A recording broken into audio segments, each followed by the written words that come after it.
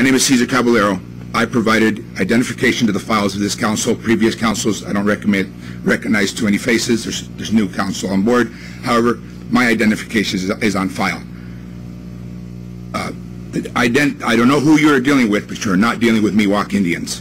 I would, I reiterate, ask for proper identification from whoever this entity is.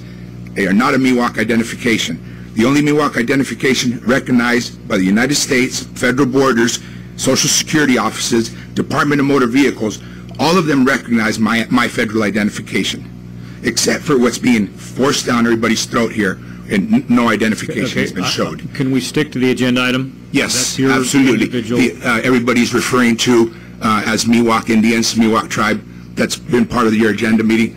You've been shown no Miwok identification. You can, uh, it's, it's it's Okay. ludicrous to refer to them as the Miwok Indians. Okay. Um, Moving a little bit forward, I got, I think I got a minute left. Um, two, there, there's been too many cases throughout the United States where the guy goes crazy and he's shooting somewhere else. I mean, how many incidents have we had? It is ludicrous to have a gun shooting range right next to schools, right next to the freeway, right next to all these residences. It's, it's just crazy. It is completely crazy talk. Thank you. Thank you.